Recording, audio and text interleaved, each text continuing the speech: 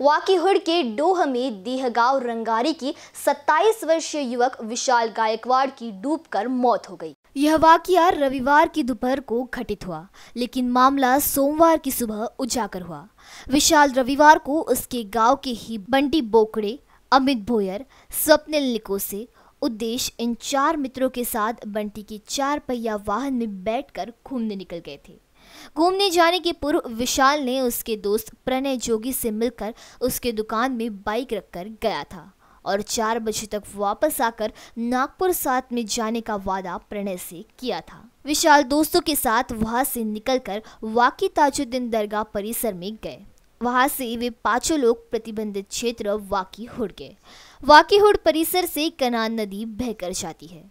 इस जगह नदी तीन जगह से मुड़ी है। इस नदी में जगह जगह डोह बने हैं। विशाल और उसके दोस्त नहाने के लिए नदी में उतरकर मौज मस्ती कर रहे थे। इसी दरमियान विशाल नदी में बने डोह में चला गया। देखते ही देखते डूबकर सभी की आँखों से ओझल हो गया। विशाल की डूबकर मौत हो जाने से चारों दोस्त घर वापस आ गए। चार बजे तक विशाल वापस नहीं आया, इसलिए प्रणय ने विशाल को फ़ोन किया, लेकिन उसका फ़ोन बंद आ रहा था। प्रणय ने बंटी को फ़ोन करके विशाल के बारे में पूछा, लेकिन बंटी ने प्रणय को कुछ नहीं बताया। रात गुजरने के बाद भी विशाल वापस नहीं आया तो सोमवार की सुबह प्रणय ने विशाल के दोस्तों से कड़ी पूछताछ की। तब कही बंटी ने सारी हकीकत बताई। पुलिस को घटनास्थल बुलाया गया।